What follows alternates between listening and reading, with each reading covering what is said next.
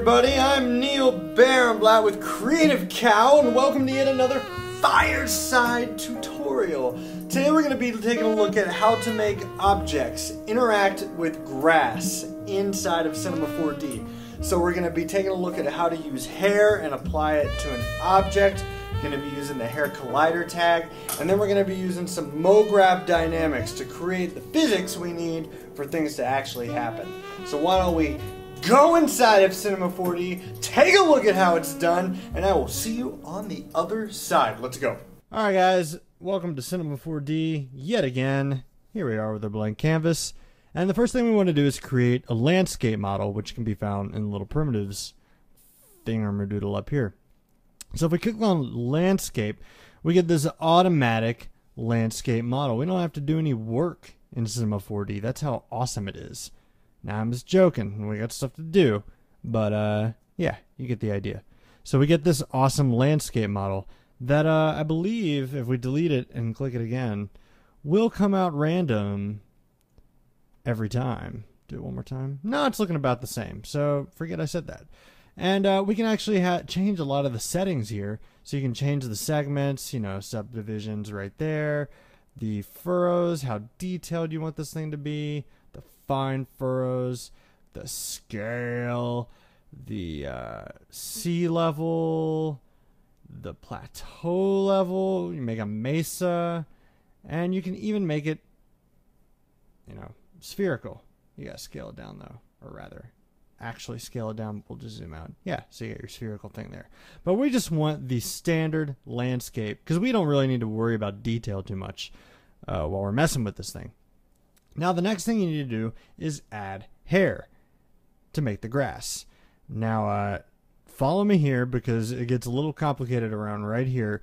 You click on the hair tab and add hair. Wow. Okay, so uh, I think we're done here. No, I'm just joking. But I mean, that was pretty easy to, to get that across. I mean, we have our landscape, we have our hair, we have grass. Now, if I go and render it, it's some pretty ugly grass, and it kind of looks like uh, nose hairs a little bit. And we need to mow them nose hairs down. So what we're going to do is just that. If you click on the hair object and go into guides and go to the length tab right here, we just, uh, you know, it's like taking a hair, nose hair lawnmower and mowing them down because that's how I trim my nose hairs um, with a lawnmower. And uh, I replace the blade with rubber bands because that's how you trim nose hairs. That's how we trim nose hairs in Cinema 4D anyway. So now if we go ahead and re-render, we have much more reasonably sized grass. Now the the next thing I see that that's just red flag to me is that this grass is still ugly and brown. So we want to change the color on it, which you can do in the hair material right here. So by double clicking that and going into color, and uh, what I usually do is change the dark color to a dark green and the light brown color to a light green. And uh, that pretty much feels like grass to me. If you want, you can even add a third color to this gradient by clicking on the gradient and, you know, just giving it kind of like a backlight effect. Not that it'll turn out that way at all. But go ahead and render that. And yeah, we have much more grass looking stuff. It's all about faking it and making it look like grass when in reality, I think you and I both know this is not actually grass. So yeah, that's looking cool. I think we need more because uh, yeah, I think we can see too much of not grass. So if you click on the hair, and we can actually rename this to grass, as not to be confused, and this to ground. If we click on grass, which is what we'll call it now, we can uh, actually up the count so we have enough blades of grass to cover this entire landscape. And you don't want to do it in the guides tab. Instead, you want to do it in the hairs tab.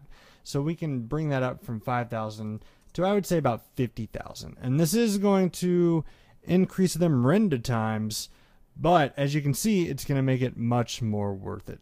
We're starting to get good, uh, good clumping and just a good volume of grass, which uh, you can never have too much volume of grass. Because if we had more, then I think we wouldn't have to worry about deforestation and stuff like that anymore.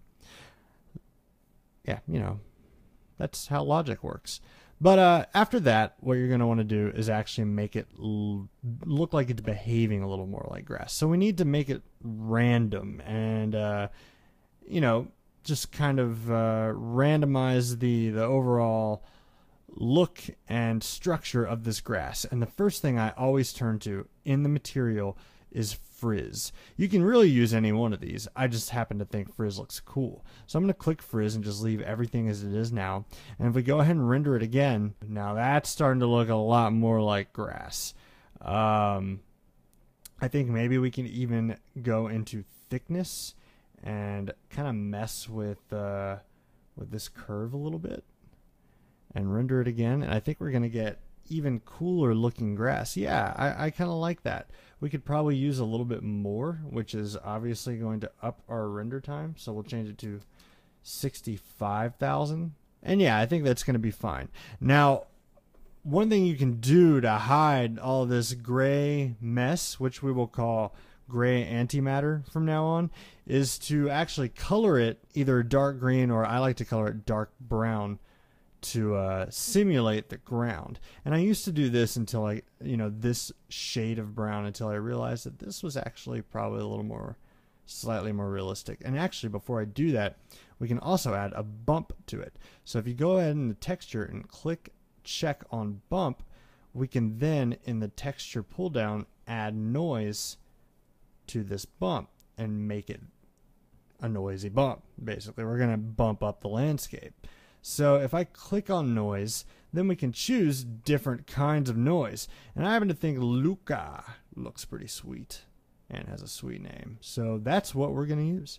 And we just up that bump a little bit right there and take this and drop it onto the ground and go ahead and re-render that mother and bam we got some good looking grass i think it's you know it's cool looking. It's still a little uh everything's a little separated.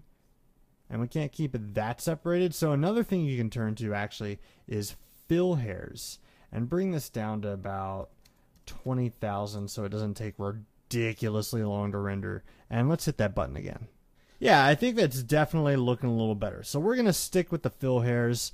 Uh, if you think that uh, that it just looks like there's still too much separated, increase these. You're going to increase your render times. It's something you're going to have to live with. You can also try changing this brown to a green and see if that gives the illusion that uh, that there's more grass there. You could probably even put a grass texture. Yeah, it actually does. It does give me the illusion there's more grass there. So I'm going to keep that. I think it's looking pretty good. It looks random. Uh, these colors are, are really popping to me. I like it. So the next thing we're going to do is add our uh, our object that's going to actually interact with the grass. Wow, I really pronounced the word interact pretty hard there. So let's add a sphere and make it a smaller and bring it up in the comp. And uh, yeah, I think it's cool if we have it roll down that way. It kind of looks like a either like a luscious mountain or like a a really a really badly built mini putt putt course and which is which is actually funny because we have a golf ball looking thing right here.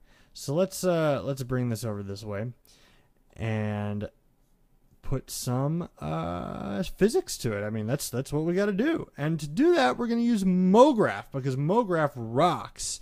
It kicks freaking arse.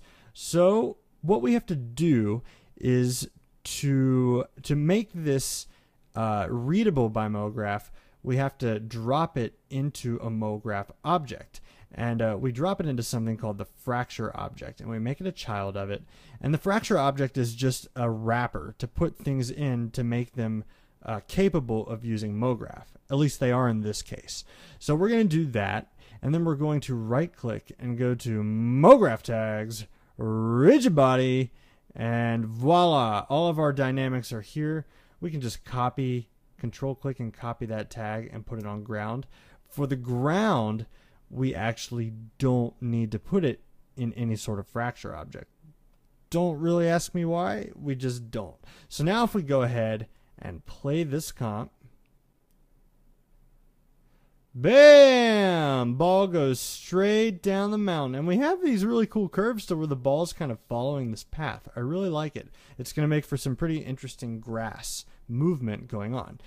Now, one thing I do want to point out is that if you select the grass and go ahead and play from the beginning, you'll notice that the grass falls straight to the ground. And that's because it's being affected by a force built into the hair mo- module called gravity. And, uh, you know, gravity is uh, a natural phenomenon by which physical bodies attract with a force proportional to their mass. So take that into account while you're using the hair module, and uh, let's set that sucker to zero. So if we go into the forces tab uh, under the grass object, and this is the the constant. I bet if we searched for it on Wikipedia, it would Yep, gravity equals 9.81 meters uh, divided by something squared. That's what S stands for, something. And take this and make it zero. So now if we go back and play, the grass doesn't do anything, which is exactly what we want. Now, what is not exactly what we want is the ball is not affecting the grass yet. So let's make that happen. And the way we do that, it's pretty simple, is on the fracture object, not on the sphere, right click, go to hair tags, and add a hair collider. And watch this puppy roll. Bam! It is moving the grass just like that. Really, nothing more to it. You can play with the settings to kind of get the grass to dynamically behave a little different this is not how real grass would behave. I think it looks fantastical and cool. But what you can do is go into these dynamics, just play with them and uh, and see what you get, because uh, you know sometimes it just takes a bunch of tweaking. But I think this looks cool with what we have. So let's play this a little bit and give it a render. Awesome. It's doing its job. So I really like top views with this kind of thing. So we can just do that and see what that looks like. Word, that is pretty cool. The only thing that's not cool is it's poorly lit. In fact, it's not lit at all, which uh, definitely needs to change right about meow. And so what we're going to do is actually, I'm going to use Greyscale Gorilla's HDRI Light Kit Pro because it's awesome. And if someone makes something awesome for you to use, you should use it. So uh, we're just going to use the daylight thing right here because that is freaking perfect. And now, if we go ahead and render from right here, we get this beautiful lighting with this beautiful shadow, just some really great looking stuff. It does take tons longer to render, and when you're going to render a 150 frame animation or something like that, it might take you all night. But you're going to get these incredibly looking, incredible looking results. And uh, with his Light Kit Pro, there's a lot of settings you can do. So you can raise the height of the sun and uh, rotate it to get different, you know, times of day, I guess, or I guess that would be more about the height. You know, I, I just, you know, thought the sun kind of went from one side to the other, and that sort of indicated I don't know what. But, uh, you know, and the world is flat apparently. But yeah, so that's how you control that. And uh, the last thing I would do is give some texture to this sphere. And uh, there's two parts to this that I actually want to show you. The first part is actually texturing it. So we're going to make a new material by double clicking in the materials thing and we're really just going to give a reflection. And that's it. So I'm going to drag that over to the sphere. And then the other part is the grayscale daylight kit actually comes with it it has some textures built into it and one of them is the sky texture. So I'm going to double click that and in the color channel I'm going to load a sky image that I found on something called Google Images. And so it's like if you just typed in sky and pressed images, um, the gods of Google actually provide you with all of these awesome pictures that I can just use um, without permission. So that's exactly what I'm going to do. And I'm going to load that, and immediately it's going to cause a reflection in this ball. So let's render region right here. And awesome, we get the reflection, but the problem is it is way too bright. So really the way to fix this is just to go into the ball's texture and uh, lower the reflection to about, you know, a little lower than half, maybe 45 should do it. And if we just give this whole thing a render, awesome. That is looking freaking sweet. You know, I think it's ready to render with the exception of one thing, and that is some motion blur. You're definitely going to want that. And if you don't have a plugin like uh, ReelSmart Motion Blur to do that quick for you in After Effects, it can become really time consuming. Except in this case, there's actually a cool fix that's built into Cinema 4D, and that's vector motion blur. And uh, the first thing you would do, well, it doesn't really matter which order you do this in, but uh, just to get a handle on it, you would go into the render settings and under Effect, press Vector Motion Blur. Not Scene Motion Blur or Object Motion Blur, but Vector. And uh, the way vector motion blur works is it will it's this very fast, sort of efficient but low quality motion blur that only applies to whatever you tag. So we're going to tag the fracture object, Cinema 4D tags, with a motion blur tag. And just in case, because I'm not exactly sure what it picks up, I'm going to drag it to the sphere as well. And I'm going to drag it to the grass. And so now when we render that out, it will render with motion blur, and it shouldn't take too much longer for your render it's already taken a long time, so why not add an extra second or two and get better looking results? So we're going to do that. And I think I would majorly, because of that reflection, turn the anti-aliasing at least to best animation. If you really want to, you know, make it spiffy, if you're thinking of going in 16 bits per channel, do a 2.2 or 2 times 2 and you'll get better results.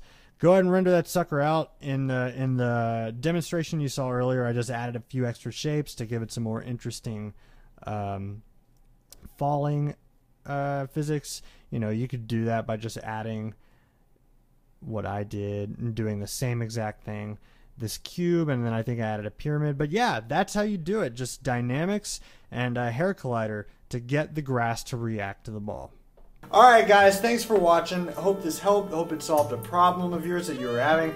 Hope it gets you uh, riding on the creative train of life. So uh, stay tuned for more Creative Cow. I'm Neal Barenblatt. Thanks for watching. Ta-ta.